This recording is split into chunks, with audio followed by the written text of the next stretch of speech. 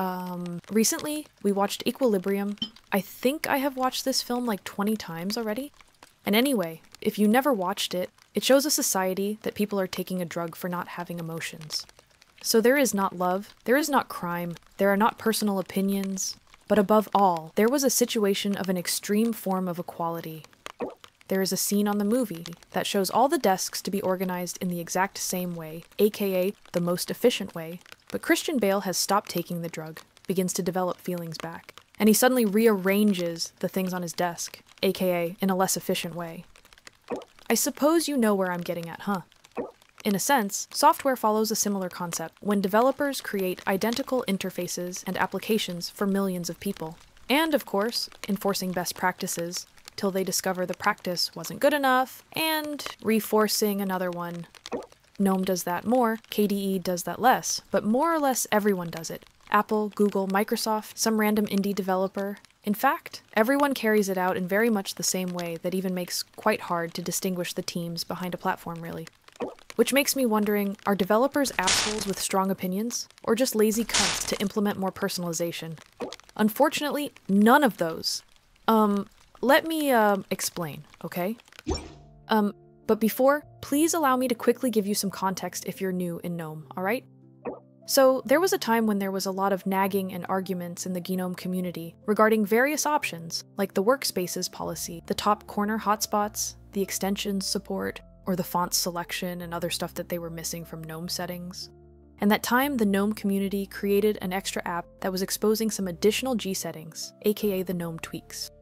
Nowadays, these complaints are mostly gone. Many options were merged into the official GNOME settings, but not the fonts, sadly. And anyway, as I was saying, if you are new in GNOME, you might don't even know it. Which reminds me. So, this is GNOME tweaks if you don't know, and in version 47 there is nothing new but in 46 was been ported in GTK4 and Adwaita components. I'm still using it, you know, mostly for changing the fonts.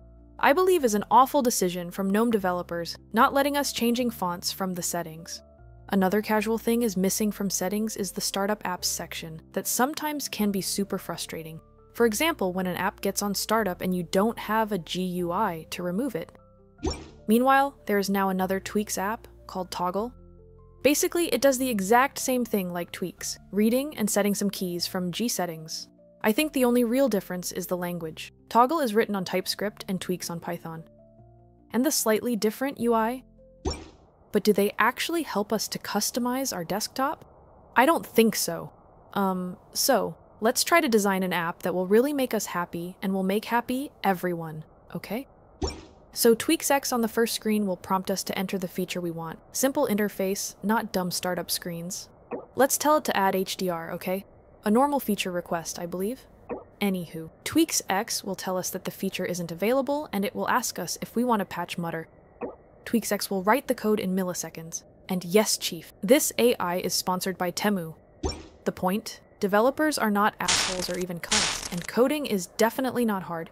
It's just that the actual human entity is stupid. In 30 years from now, people will shop brain chips from Temu, making the today us, looking like we thought the virtual reality was really virtual. But perhaps we shouldn't travel so far ahead. Maybe we'll see massive changes in open source in the next five years because of the AI. I'm not talking about code improvements, but think of this for a moment. Open source organizations are strongly relying on licenses and on large communities. Do we all agree?